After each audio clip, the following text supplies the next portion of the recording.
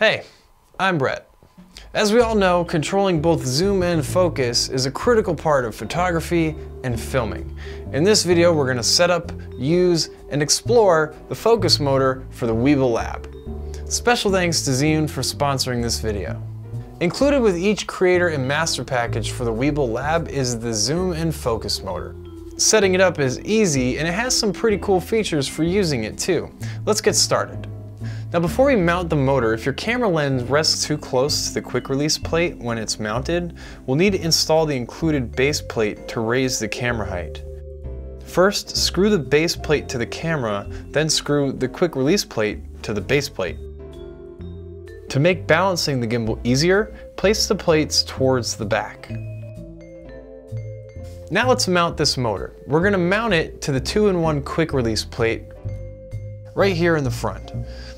You can place the motor on either the left or the right. If you have issues on one side, just try the other. Then clamp the rod to the bracket and the motor to the rod.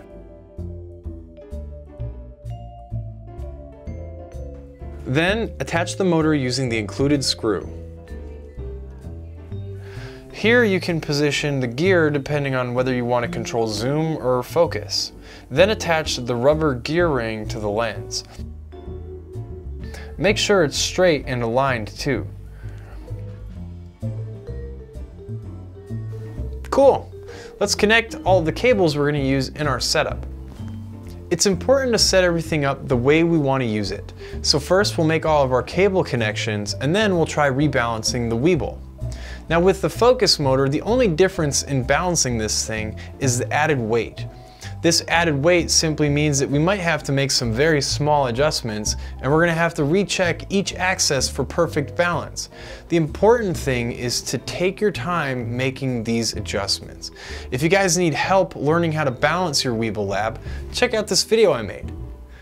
Now let's power on the gimbal and get started. Now we can see right away that the focus motor is already working and it responds to turning the wheel. This is huge as we can now adjust zoom or focus on any lens we want. Now before we get to using this thing, we should first adjust our motor strength settings. With just my a6300 and 18-105 lens on the gimbal, I was safely using the low motor strength setting because I had everything so well balanced. But with the added weight of this setup, after testing it, it seems like medium is gonna work best for me. Of course, this is all gonna depend on how well you balance your gimbal. So again, take your time with it. Now that it's all hooked up, we can tailor some of the wheel settings to our liking. In the gimbal menu, go to the wheel option and press right. The first option is sensitivity.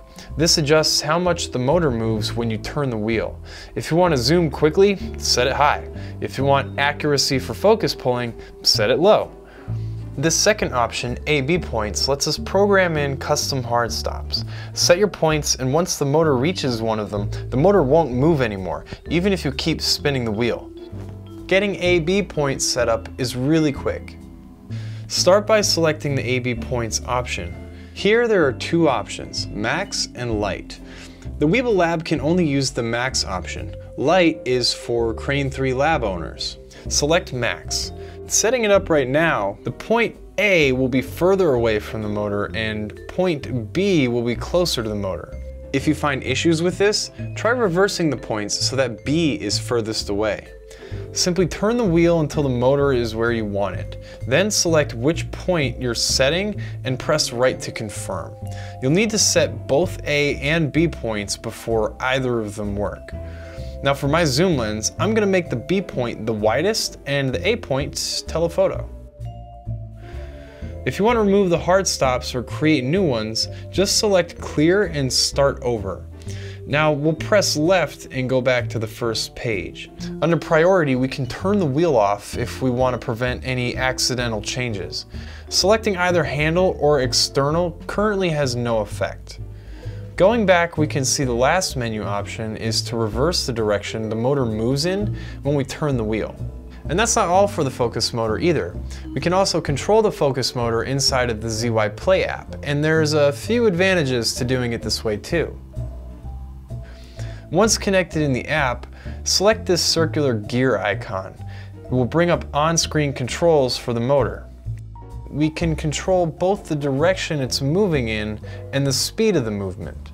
What's neat about controlling the motor this way is that you can hold down the control and get to where you want in a smooth motion, whereas with the wheel, it may take a few turns.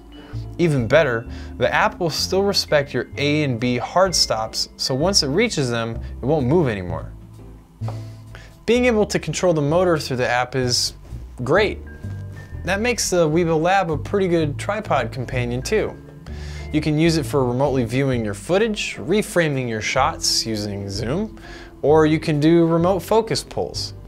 Pretty cool stuff. And that's it for me today. If you guys have any questions or you just want to say hi, let me know down below. And brownie points for smashing that like button. Don't forget to subscribe too because we have a few really awesome videos coming up on filming with the different modes with the Weebill Lab and we're going to dive in depth with the ZY Play app. You don't want to miss it. Until the next one, see ya.